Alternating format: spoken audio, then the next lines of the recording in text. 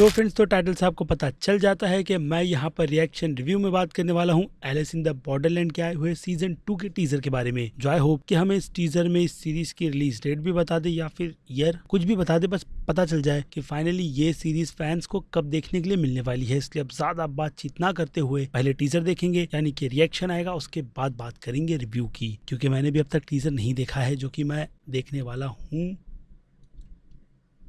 अब 一度ボーダーラインを越えたらもう出られないゲームに参加するしかない यार टीजर के नाम पे नेटफ्लिक्स वाले काटे जा रहे हैं क्या आवाज़ ज़्यादा तो थोड़ी कम कर रहा हूँ okay okay 覚えてないんですねスタートボタンを押すの忘れちゃってんじゃないの start that's not a 皮ごと引きずってる現実はリセットできないけどいいな continuation तो सीजन वन के बाद ही है बाकी कैरेक्टर जिंदा है और नेटफ्लिक्स वालों ने खर्चे किए हैं।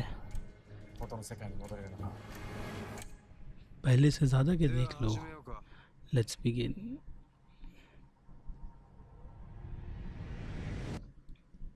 बस। यार, चलो।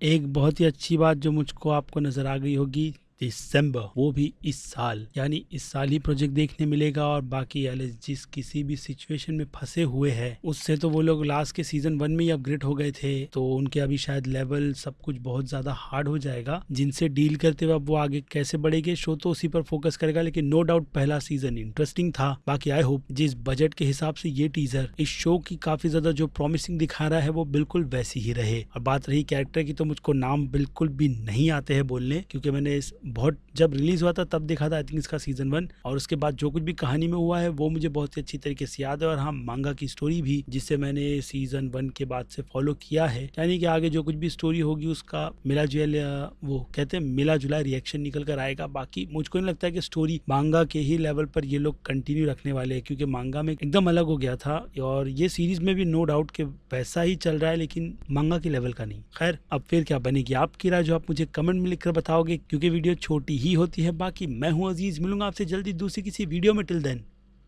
बाय